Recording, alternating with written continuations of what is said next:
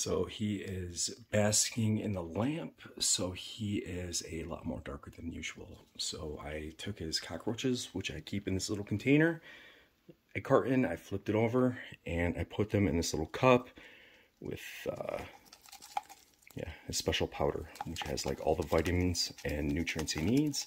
So we're gonna dust them and feed them. Okay, so I usually try to grab them by a single leg. And these guys are being really, really fickle.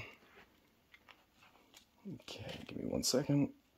Okay, so I... Okay, so I got one. I tap it to release the powder. Okay, and I'm gonna set the cup down real quick.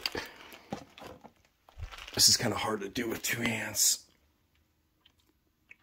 And I'm just gonna kind of be playful.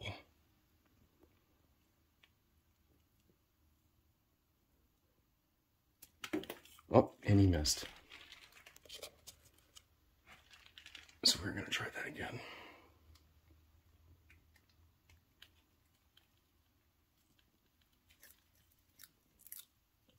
Success.